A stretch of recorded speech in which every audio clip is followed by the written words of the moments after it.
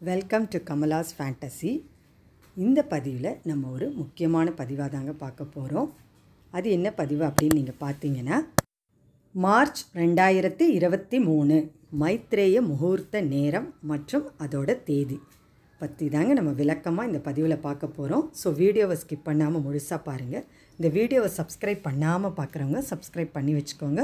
பக்கத்தில் வர ஆல் என்ற பெல் ஐக்கானை கிளிக் பண்ணுங்கள் அப்போ தான் நான் போடுற ஆன்மீக பதிவு உடனுக்குடன் உங்கள் கைக்கு வருங்க. சரி மைத்ரேய முகூர்த்தம் அப்படின்னா என்னன்றதை நான் இப்போ சுருக்கமாக உங்களுக்கு சொல்லிடுறேங்க. இந்த காலகட்டத்தில் பார்த்தீங்கன்னா மனுஷனாக பிறந்த ஒவ்வொருத்தருக்கும் நிறைய கடன் பிரச்சனை இருக்க தாங்க செய்யுது.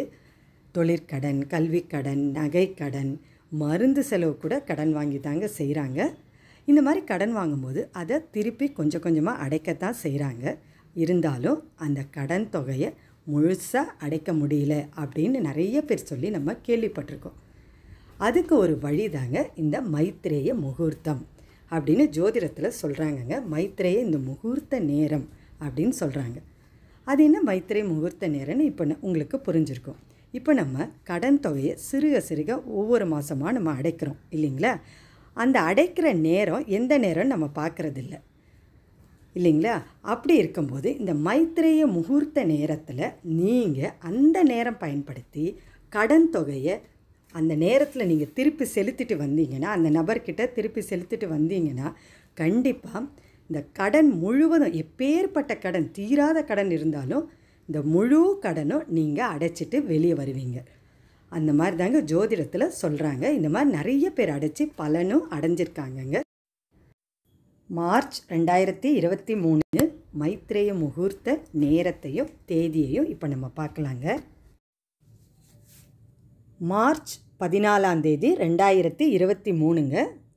என்ன கிழமைன்னு பார்த்தீங்கன்னா செவ்வாய்க்கிழமை.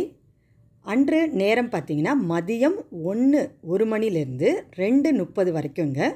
இன்னொரு நாள் பார்த்தீங்கன்னா மார்ச் இருபத்தி நான்கு ரெண்டாயிரத்தி இருபத்தி மூன்று வெள்ளிக்கிழமை அன்னைக்கு வருதுங்க.